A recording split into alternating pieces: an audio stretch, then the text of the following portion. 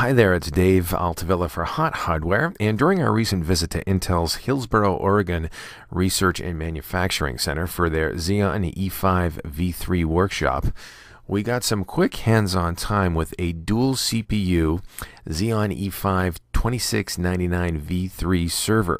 This server is powered by a pair of beastly 18 core Haswell EP server CPUs at 2.3 GHz. And with Intel hyperthreading enabled, we're treated to 72 logical threads of processing power.